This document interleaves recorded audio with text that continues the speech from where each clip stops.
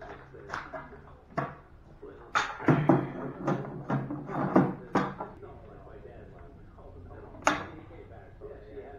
mean, he did leave at one point. Well, yeah, and, and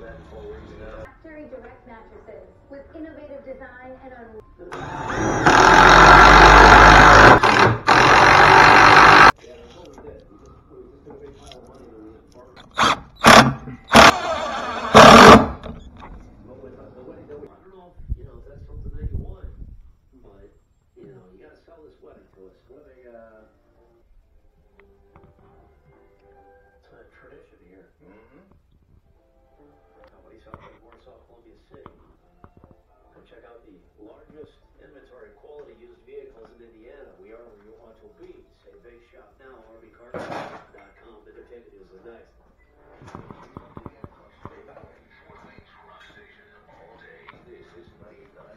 Taking a, you know, it's only good. Very busy schedule, so it's up to you to make sure they're protected.